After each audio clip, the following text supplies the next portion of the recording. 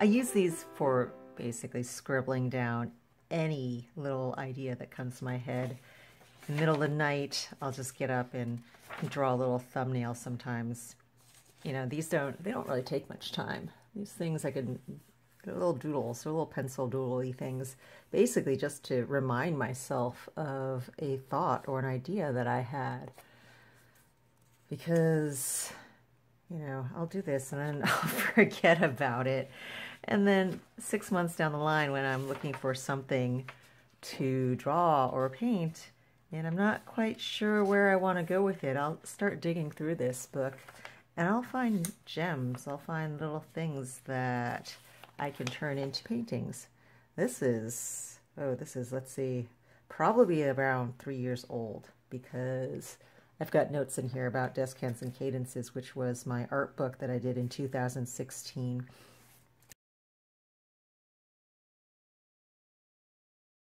You can see here, these were some of the concepts that I was thinking about for a group gallery show.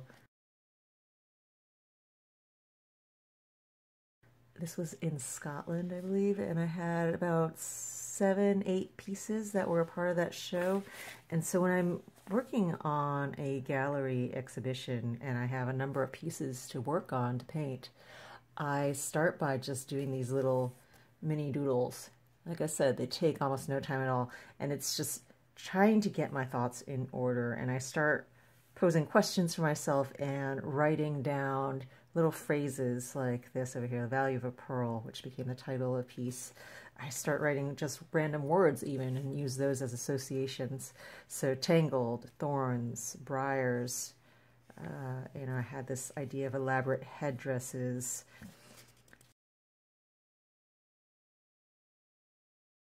where you only see the, the top portion of a face and, and above it you see this tangle of briars and thorns, which is a theme actually that you probably, if you're familiar with my artwork, then you may have noticed that in various places because it is a theme that I decided to run with actually and work on for several paintings.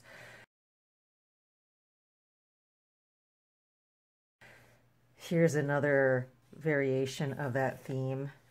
Uh, this was actually turned into a painting at some point too. Unafraid of Brambles, Unafraid of Thorns. I was trying to decide on a title. And in fact, the little little hummingbird, that's what this is, in case you can't tell. that's, that's a little hummingbird up there.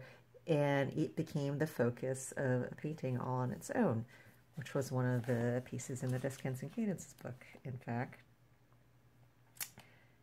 Now, what else have I got here?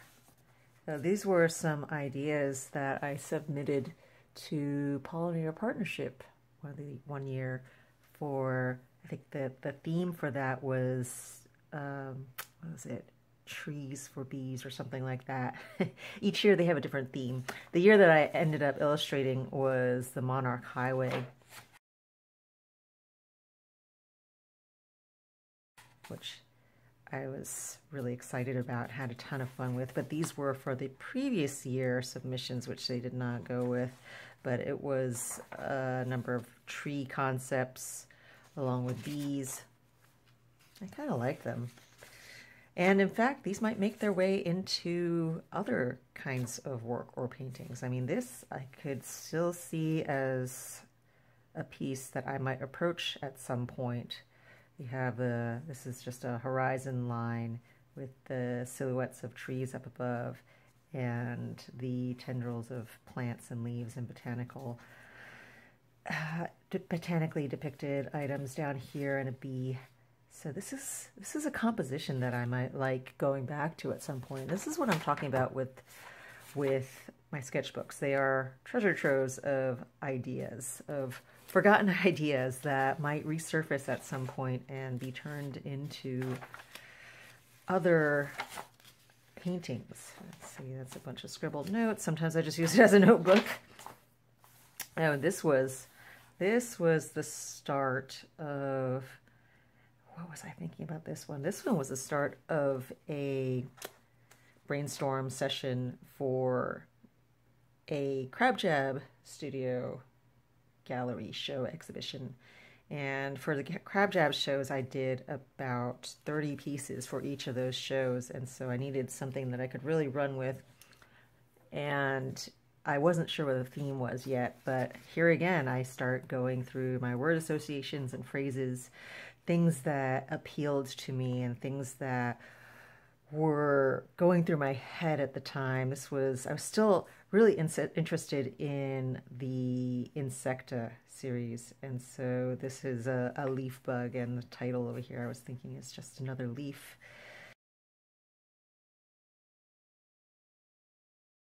And you could see some of the notes. I said, uh, you know, perhaps faces in the leaves, or some of the other possible titles and phrases I was thinking of was invisible leaf, or you do not see me, or I am unseen, or conversely, I am the unseen, or I am the seen. What grows much must fade. I had also this fish idea, this sort of surreal combination of uh, juxtaposed reality, which did also, again, eventually make its way into what was my Haven gallery show. That was the um, where the sea meets the sky. Although these were these were kind of the early concepts and the early thoughts that I had on the subject. This juxtaposition of two worlds and the boundaries and and where those how how those boundaries then define the world that you exist in, the world that you choose to see, and the world that you perceive.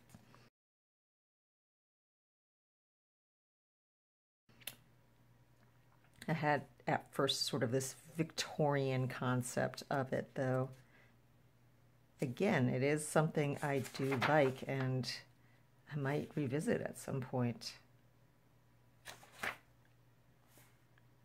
Other little scribbly sketches. This is this was the first thumbnail where I started to play with the idea of the the ocean juxtaposed with uh, my trees and where there's just this kind of very surreal element of how they are just all combined and and the tree and the sky and the ground and the ocean is all intermingled into one painting. And I have this tree here with the moon up above and little fishies swimming around. Yes those are little fish. Can you tell that as I said these are very rough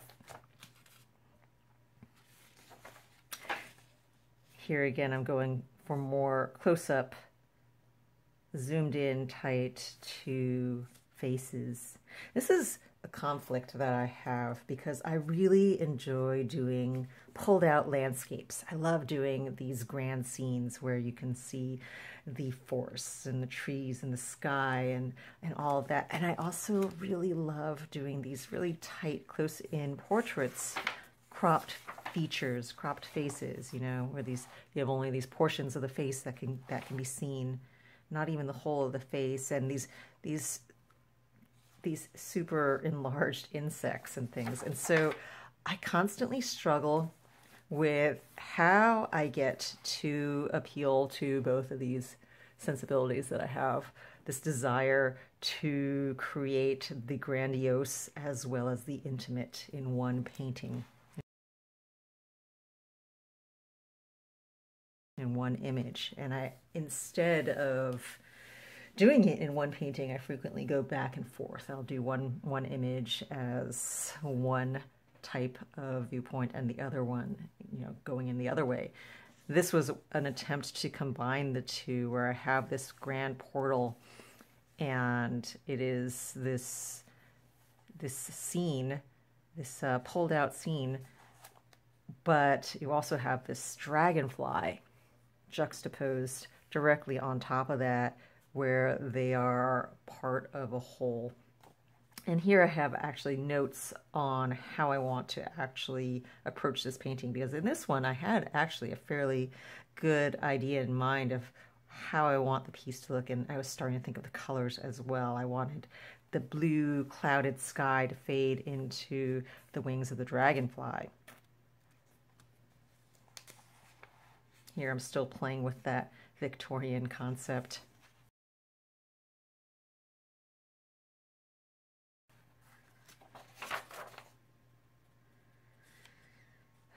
Oh, and this, this, this is dress designs. All kinds of random things that get tossed into my sketchbook notebooks. I like to sew. I like to sew dresses for myself. So that's what this is about. I was figuring something. All right, here's more planning on what is this? This is planning on my Crab Jab gallery show. This is where I started to figure out what the exact images that I wanted to have showcased in the gallery were going to be. And this was the very first, the very first incarnation of what eventually became the series of laser cut paintings in my Unraveling series. Um, and it was this idea of unraveling and potential and deconstruction versus creation and how this thread runs through all of these pieces. And in fact, in fact, I initially had a thought of a literal thread actually connecting these, and then more of a, a figurative one or a a very designed one made out of some either 3D printed and then laser later on I moved into the laser cut realm. And then the thread itself was discarded as a actual concept and and turned it more into just the way the paintings flowed one into the other. That was the figurative thread that was running through them all and creating this spiral pattern. But if you can believe it that was how it all started out It was this little scribble. That was the first little spark of that concept. And that's how a lot of my pieces start with what barely even you can what you can barely even tell is a going to be a painting. And these were some more concepts and ideas that went into that. More dress stuff. Oh yeah, and this was one of my favorite quotes from Alice in Wonderland. Actually, no, it's not Alice in Wonderland. It's Through the Looking Glass. It's the White Queen. And I've done a painting based on this quote too, Impossible Things. I'm just 101, five months and a day. I can't believe that, said Alice. Can't you? said the Queen in a pitying tone. Try again. Draw a long breath. Shut your eyes. Alice laughed. There's no use trying, she said. One can't believe impossible things. I dare say you haven't had much practice, said the Queen. When I was your age, I always did it for half an hour a day. Why, sometimes I've believed as many as six impossible things before breakfast.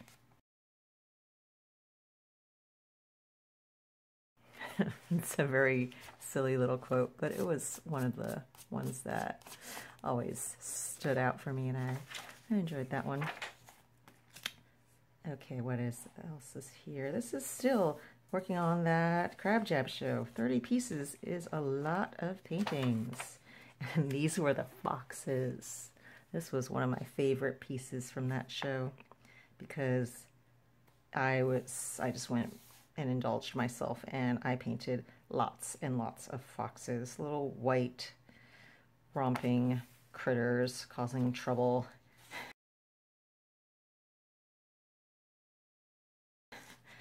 Incarnations of entropy. I think that they run through my house constantly. Incarnations of entropy, that is. and this is the form that they take. Oh, and here we move on to the Haven show that followed the Crab Jab one where I moved on to the birds, the sea, where the sea meets the sky. And this was one of the large paintings. The initial title for it was called Reversal. But what I wanted to have here, the idea that I was working with, was that the, the fish swimming through the sky and the birds were flying through the water. So this total inversion of where they should exist, where they are supposed to be, what is perceived as reality and what is reality.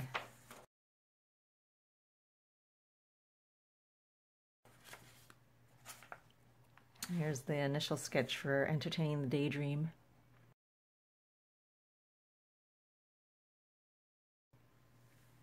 Which was sort of the signature piece for that show. And this one was a concept that made it partway through a painting, and then I disliked the composition, and so it, it never was finished, which is actually a very rare thing for me. Most of my paintings see completion, whether I like them or not. And then I decide once I'm done whether I like them or not. Because I've learned that frequently when I am in the middle of painting something, I dislike the painting. It always goes through a part, a phase where I hate it. I dislike it and I want to quit. I want to just toss it aside and I have to make myself not do that because frequently the pieces that I most want to do that to end up being some of the best ones. But this is one of the few that did not make it through the process. And the initial title of that was No Man is an Island, but perhaps some fish are. the fish here, you see, you get it? the fish is the island. Okay, I'm going to discard that. let's move on from that one. I think that was a good idea to leave behind. But this one was another piece that I did not like also. I did finish that one and actually I ended up liking it when it was done. but it didn't make it into the show because the the gallery show what I ended up doing was all my pieces became laser cut frames and they were all either round or curved and this did not fit into that format any longer once I had decided on that mode of display because this is a rectangle, this is a rectangular piece and so it was not going to be able to play with all those others.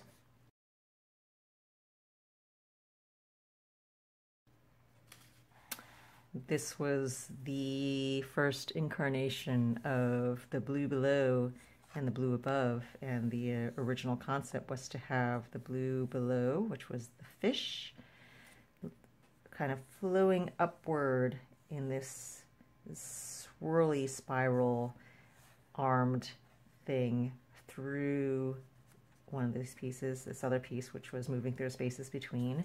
That was actually what this got turned into once it got reimagined as a round piece instead of the original rectangular shape and dimensions that I had. It flows up through that and then out into the blue above. Which is the phoenix piece. And you know, I'm still sort of caught in that Victorian imagery here.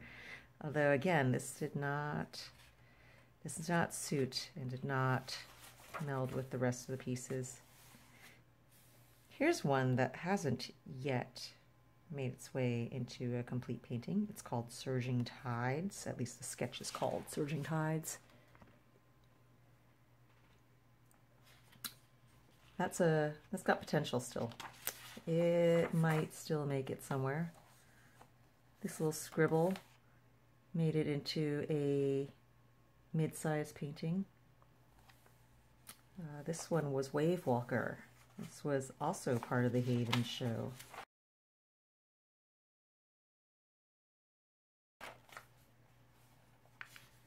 And lots of random notes. Oh yeah, this was me trying to put into words my thoughts about the Where the Sea Meets the Sky show and trying to trying to wrap actual words around these visual concepts, which is sometimes one of the hardest things about creating art, being able to talk about it. But it's important, and it's important to understand your own thought process about it and to know where your images are coming from and what they are connecting to for yourself and for your audience. Oh, and here is the very first little scribble for succulent dragons. That's a little Haworthia hoarder.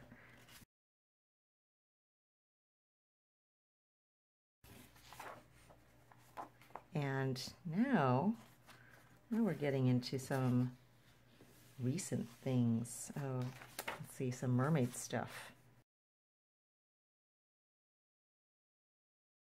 Because I have a couple of group shows coming up in the next month or two. One of them is called Mermaid, and it's going to be at Modern Eden. So this was the sketch that came up for that. These were some of the other possibilities for the Mermaid group show, but this is the one I finally settled on. And that brings us up to the present. A few more blank pages in here, some not so blank pages. so there we go. There's a little tour through my sketchbook. A look at my little scribblings.